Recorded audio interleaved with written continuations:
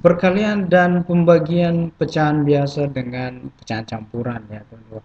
Perkalian pecahan biasa dengan campuran. Nah ini perkaliannya teman-teman. Nomor satu. 2 sepertujuh kali 2 per 3 nah ini ada pecahan uh, campuran. Ini pecahan campurannya ya teman-teman ya. Ini pecahan campuran. Dan ini adalah pecahan pecahan kaca. Eh pecahan biasa. Sorry salah sebut. Nah oke okay, di sini teman-teman 2 1 per 7 itu kalau kalau saya diubah dulu ke pecahan biasa ya teman-teman ya. Jadi 2 1 per 7 itu bisa kita buat begini teman-teman. Ini 7 kali 2 oke okay, ditambah 1 per 7 ya teman-teman ya. Kali 2 per 3 Nah, 2 kali 7 kali 2 itu 14. Tambah 1 per 7 dikali 2 per 3 14 uh, tambah 1 itu 15 ya teman-teman. 15 per 7 dikali 2 per 3 ada tidak yang bisa bagus coret-coret teman? Ada. Nah ini 15 dengan 3 15 bagi 3 maksudnya itu begitu teman-teman. Yang dicoret maksudnya begitu jadi kalau 15 bagi 3 itu berapa teman-teman? 5. Ah, oke, okay. jadi bisa dikali lurus 5 kali 2, ah, 5 kali 2 per 7. Sebenarnya di sini 1 ya teman-teman ya. 7 kali ini 1. Sorry. 5 kali 2 itu 10 dan ini 7. Kalau dibawa ke pecahan campuran boleh. 1 7 7 kali 1 ditambah berapa dapat 10 itu 3 ya teman-teman ya. Oke, itu. Kalau pembagiannya bagaimana teman-teman? Ya ini kalau pembagiannya sama, prosesnya itu dirubah. Dirubah yang pecahan campurannya, dirubah ke pecahan biasa. Prosesnya sama, teman-teman. Jadi mungkin saya bagusnya langsung di sini ya, teman-teman ya. Ini ada sudah saya jelaskan prosesnya dia dari atas, dari sini ya. Ini adalah proses perubahan dari pecahan campuran ke pecahan biasa.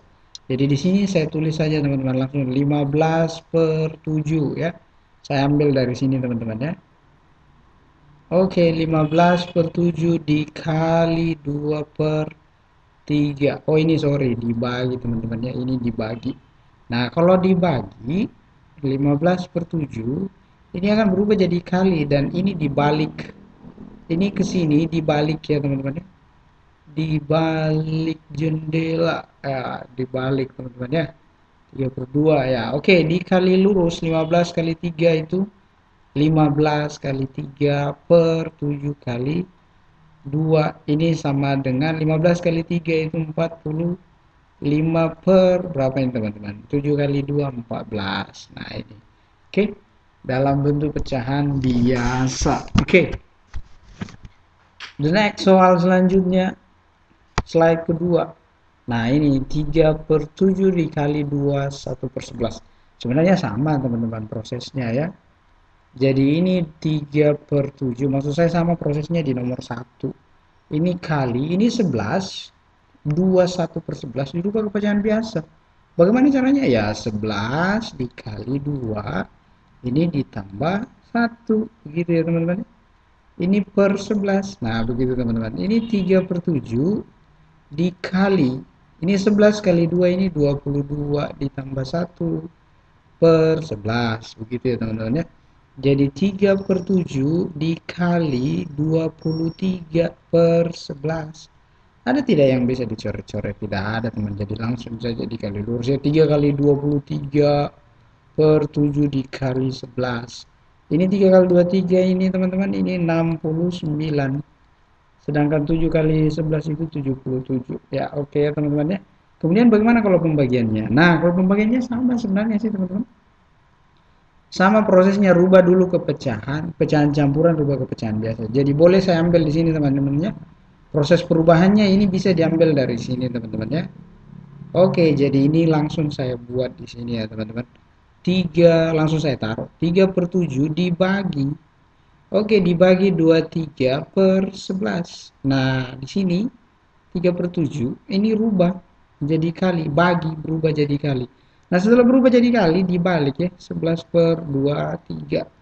ada tidak yang bisa baku coret tidak ada yang bisa bercoret-coret teman-teman jadi dikali lurus 3 kali 11 per 7 dikali 2 3 ya ini 3 kali 11 33 per 7 dikali 2 3 itu berapa? 7 kali 2 3 161 ya 161 oke begitu ya teman-teman ya. Kemudian soal selanjutnya nomor 3 nah nomor 3 ah soal yang pertama. Seperdua dikali satu dua per tiga dikali dua tiga per empat. Nah ini prosesnya sama proses perubahan pecahan biasanya maksud saya teman-teman. Bukan pecahan biasa pecahan campuran ke pecahan biasa ya teman-teman ya. Jadi boleh saya langsung saja ya teman-teman ya. Jadi di sini seperdua dikali tiga kali satu tambah dua itu berapa? Lima per 3 dikali. Kalau bingung lihat uh, penyelesaian soal sebelumnya teman-teman ya. Kemudian 4 kali 2 itu 8 8 tambah 3 itu 11 11 per 4 nah kalau begini teman-teman oke kali lurus saja. 1 kali 5 kali 11 ini 2 dikali 3 dikali berapa teman-teman? 2 dikali 3 dikali 4 nah begitu teman-teman ya. 1 kali 5 ini jawabannya ini teman-teman. Ini saya lanjut di sini ya teman-teman ini 55 per 2 kali 3 ini 2 kali 3 6 6 kali 4 itu 20 4 nah begitu ya teman-teman ya. Oke. Kemudian itu dalam bentuk pecahan biasanya ya teman-teman ya. Bagaimana caranya rubah ke pecahan campuran? Nah rubah sendiri teman-teman ya. Oke soal yang ketiga untuk slide ketiga ya. Untuk pembagiannya. Nah ini prosesnya sama teman-teman rubah dulu semua ke pecahan biasa. Nah super 2 itu dalam bentuk pecahan biasa. Nah ini teman-teman sama di sini. Sama persis ini ya. Ini sama persis. Oke, kemudian di sini 5 per 3 ya teman-teman ya. 5 per 3 dibagi di sini 11 per 4 ya teman-teman ya. Di sini super 2 di sini berubah jadi kali. Berarti di sini terbalik ya teman. 3 per 5 ya kemudian di sini kali berarti di sini juga dibalik ya. 4 per 11 nah kalau begini ada tidak yang bercoret teman-teman? Ada ini sebenarnya 4 dengan 2 di sini 2 ya. Jadi bisa 1 kali 3 kali 2 per. Nah ini 5 dikali 11 nah ini jawabannya di atas 1 kali 3 kali 2 itu 6 ya teman-teman. Per 55 oke itu 5 kali 11 55 ya. 55 ya teman-teman ya terima kasih gampang sekali